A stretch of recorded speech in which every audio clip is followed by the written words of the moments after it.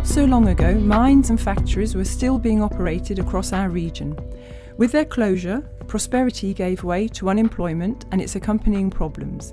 Retraining, regeneration, and innovation are now vital for these former industrial heartlands, and six partners have decided to work together based on their shared heritage. The same difficult economic background, a densely populated region, but also, and specifically, one which features vast zones of exceptional biodiversity and landscapes. A thorough regeneration of post industrial landscapes is now needed.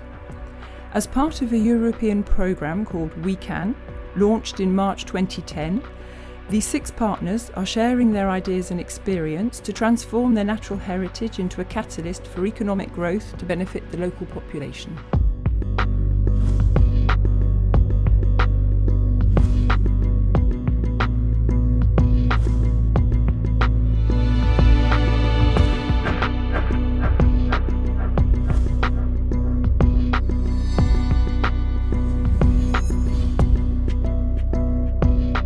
And we try to collaborate together, find new solutions on how uh, regions with a post-industrial history, but also how it is possible to find new financing uh, uh, methods to provide extra benefits for the community, but also for biodiversity. This WeCan project is for us an opportunity to reach uh, new target groups, people that don't go out uh, to go for a walk in the forest, and we try to find schemes to welcome them on an attractive way. C'est l'occasion au travers donc, de ce programme local. Through the We Can programme, we are trying to set up new approaches that we would not otherwise have had the opportunity to exploit if the opportunity had not been opened up by the Interreg 4 programme. Through four main themes called work packages, the WeCan partners use their skills and expertise to find innovative and duplicable solutions on a European scale. We are looking very closely at the project and what it can achieve for communities in Wales because it's learning new lessons that we can take on board into the Living Wales programme and the approach that we would want to replicate elsewhere in Wales. L'intérêt du programme, c'est c'est de... The goal of the programme is to develop new initiatives and ideas around the subjects we are tackling, but also to tackle new subjects and learn about new ideas. In particular, we are looking at environmental mediation, relationships with local populations, as well as conflicts for use of space. sur les conflits d'usage aussi des espaces. Dans l'idéal, hein, ce serait de... The ideal solution is to allow inhabitants, by which we mean farmers, teachers, members of associations, citizens generally, to get involved in actively preserving our biodiversity. Dans un but de préservation de, de la biodiversité. First and foremost comes cooperation, sharing experiences. This is very important because there are really so many things we can learn from our neighbours. Mais après, on a quand même euh, des valeurs. We have the same shared values, but we also share the same difficulties. This allows us to find out how our neighbours do things, how they react when faced with these problems, what measures they can implement, how they work together with their institutions, and what solutions they provide. Quelles sont les solutions euh, qu'ils apportent de leur côté pour savoir si c'est duplicable de notre côté. I really love working uh, in this sort of uh, European projects uh, because it adds to uh, to the international atmosphere uh, that I really like. To meet people from other countries, to learn about other people, other nationalities, and to work together on uh, similar subjects that you, you can learn from each other, and you actually become also a big family, uh, a group of friends, people that really uh, know that uh, in all the countries people are doing similar things, and that, that's really nice. I think the dissemination is far more important because what we learned here and the mistakes we made in the past and now finding new solutions can be really an asset for other parts in Europe.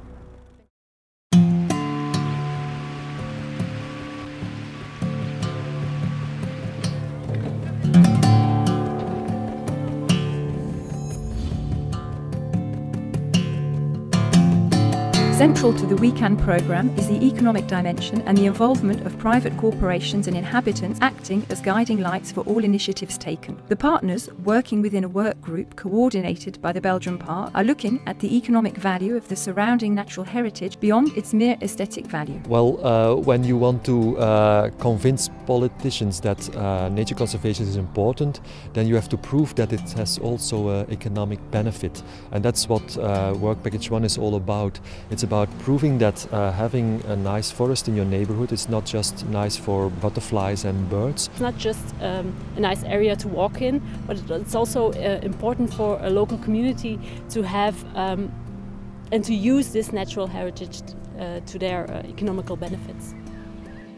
Nous avons mis en place we have set up workshops in two districts, bringing together councillors, local farmers, those involved in the local tourist economy, and with them we have tried to identify the various assets that the grasslands represent in these areas.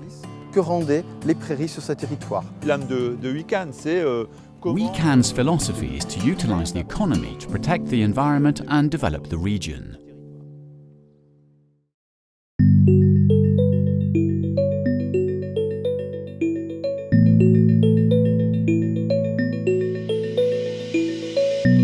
Our natural spaces are actively participating in attracting visitors to our region, and a large number of these are contributing to initiatives to promote and raise awareness of environmental issues. This also highlights their importance. Imagine in the future, for example, if there were even more of us involved in preserving our natural regional heritage. This is one of the major goals shared by the partners of WeCan backed by regional natural spaces. With the experience of corporate sponsorship contributing to funding certain actions, ENRX is working to set up a regional biodiversity fund. We still retain a historic partnership with the Caisse d'Epargne Bank, which has supported us in running an educational program destined for the region's children. It's true that this experience has motivated us to go further. Euh, on a souhaité aller plus loin. Euh, we have worked in partnership with the region, conducting a feasibility study on a regional sponsorship fund to find out whether it's possible to get companies and citizens involved in an initiative to promote biodiversity. The Belgian partners have set up an environmental foundation over the past few years. The Welsh partners are experimenting with private sector projects. Sponsorship, foundations, and endowment funds are just some of the approaches developed by the WeCan partners to promote and encourage exchanges and reviews. We have three different approaches, all derived from the same philosophy, which is to try to get private sector support. My aim is to raise private funds to do more and to do it better. There are many issues that concern us all, including our children, who carry our future hopes for the protection of nature we really want WeCan to be a beacon in terms of how the natural environment can promote all those benefits, not just to businesses, but to communities and to people, and I say especially young people, our future. With its programme of environmental education, Objectif Nature, launched 25 years ago, ENRX has demonstrated the strength and durability of partnerships with responsible businesses. This operation gives nature presentations to 30,000 school children throughout the region. This programme would never have existed and lasted so long without the tireless involvement of its partners. The Ministry of Education, Europe, the Nord-Pas-de-Calais region, and the North France Europe arm of the Caisse d'Epargne Bank. What has made ENRX what it is today also forms the genetic makeup of the Caisse d'Epargne. That is, a deep-rooted attachment to the region. It is truly an important point for us. We live for and with the region. I'd also add that there is also a notion of pooling and transfer of skills and values. I think that's also part of what brings us together, and I think it at least partly explains why we are here now, celebrating 25 years of the partnership. What is unique about this partnership is that it is actually sustainable year after year. It has survived the great changes in the Caisse d'Epargne, which has grown and emerged, but which has never abandoned the ENRX. The aim of environmental education is to teach children to act positively, whether in their relationship with nature or their daily habits and their own health. The habits we wanted them to change were clearly explained to them.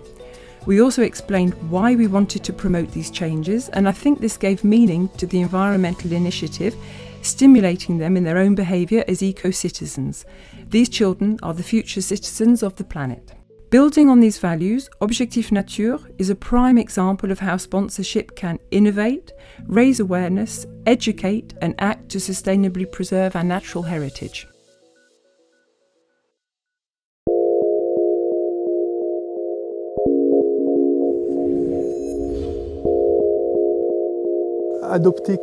Adopting someone or a species means living with them.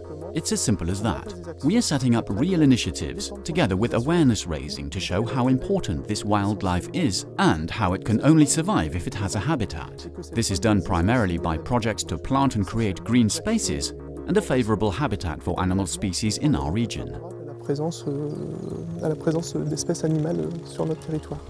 À la présence d'espèces animales sur notre territoire. The Rouen black cherry tree is typical of the Avesnois Thiérache region and bears these deliciously sweet and succulent heart-shaped black cherries each July.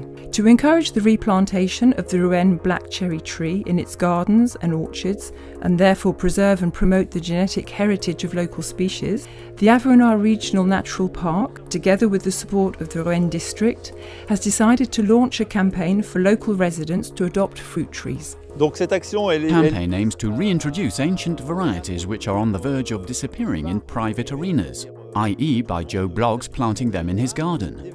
This operation is important because it represents the reappropriation of fruit heritage by the inhabitants themselves. They are adopting it. Du territoire par les habitants. After several stages of raising awareness among inhabitants, the technicians working with the Avesnois Regional Natural Park visited Rouen to give the plants to eight adoptive Rouennois residents. Today was the day on which the plants were presented to the residents, and so we also did a demonstration plantation to explain to people how to plant this tree. They were then awarded a certificate of adoption of the local variety. De de. This initiative is part of the operation entitled Let's Plant Our Scenery. Since 1983, the region's population can order plants from a catalogue of almost 150 species of trees, shrubs, and fruiting varieties adapted to the soil and climate of the Nord-Pas-de-Calais. I think it is vitally important because we need to reintroduce all these trees which are becoming rare or disappearing altogether from our landscapes. It's important for our children and our grandchildren to be able to find the trees that have always existed and also to eat natural fruit. Thanks to these adoption projects, each of us can act positively in our immediate environment to encourage beautiful landscapes, to preserve regional heritage and to enrich biodiversity. Numerous other initiatives are also being created thus proving how effective it is to act locally.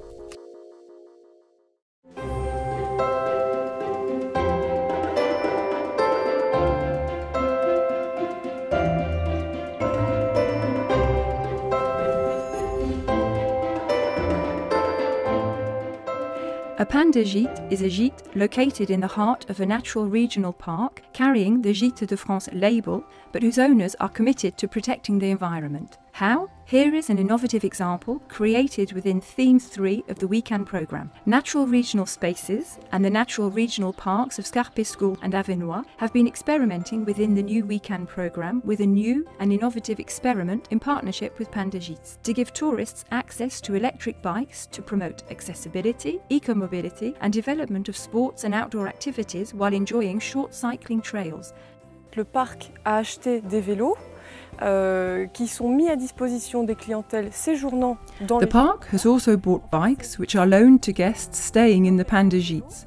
This is not a bike hire service, but is what is known as a visitor payback scheme, which gives visitors the option of making a voluntary financial contribution and guarantees that the money they give will be reinvested into initiatives to promote biodiversity.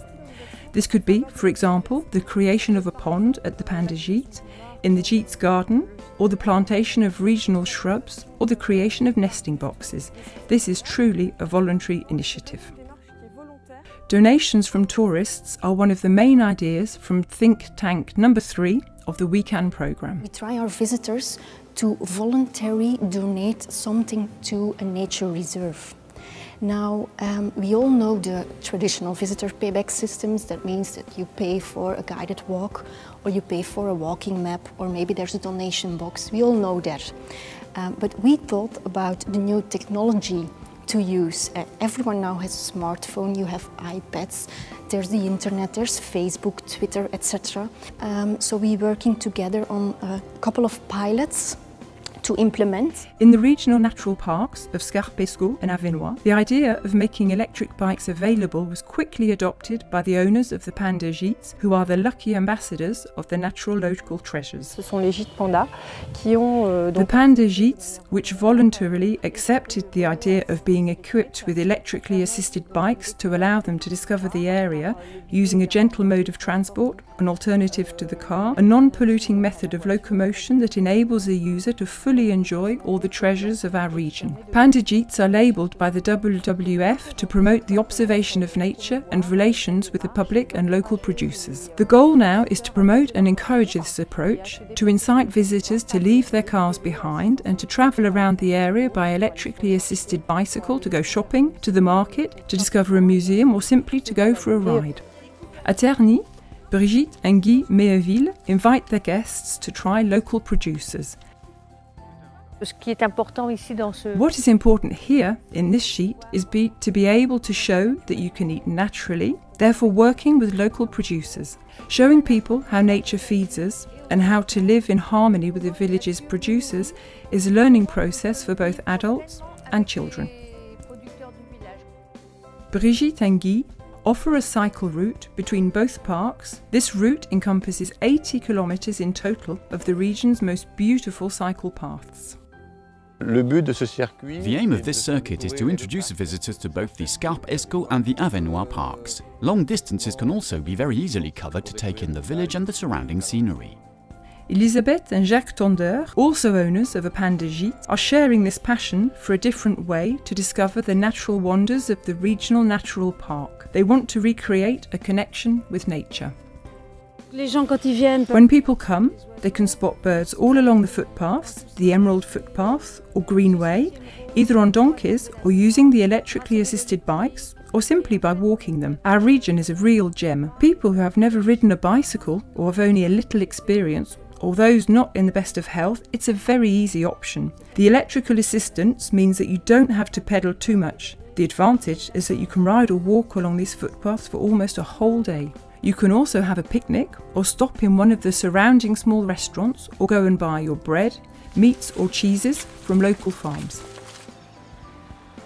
We are all eco-citizens now and this system of electric bicycles made available to the public means that if they want a short trip to the Avesnois, they can take their bike and come here and eat our delicious local products. Eco-mobility also means contact, encounters with people and nature. Getting to know nature is really important.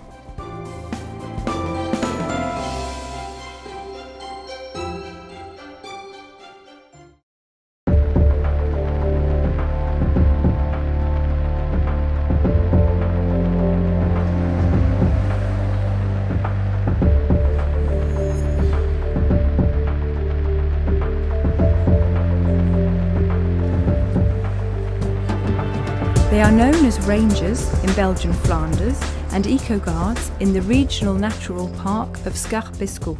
As part of the WeCan programme since 2010, they have shared our projects, practices to promote natural and mining heritage or even to educate the public on environmental matters. We need to engage communities and involve people, local inhabitants in the local natural environment as well hope to learn a lot from our French and Belgian partners in those respects. And so these visits are absolutely vital to exchange information and learn more. So we hope that by bringing the rangers and the eco guards across, uh, we will be able to understand how they do things and how we do things and improve our activities both in France, Belgium and also here in Wales. We have lots of social issues here in the valleys, unemployment, um, low educational skills and ill health. So we believe that the environment can act to try to solve those problems and by getting communities active in their natural environment it's a way of addressing and helping to solve those problems. So that's the, the higher level as opposed to just the visits as well. Although they have different statutes, the Rangers and the Eco Guards share the same passion for nature, for protecting and promoting it. So the Rangers are a group of volunteers who guide people to the national park and give information. We can function like a host to welcome people and to be enthusiastic about nature and the national park.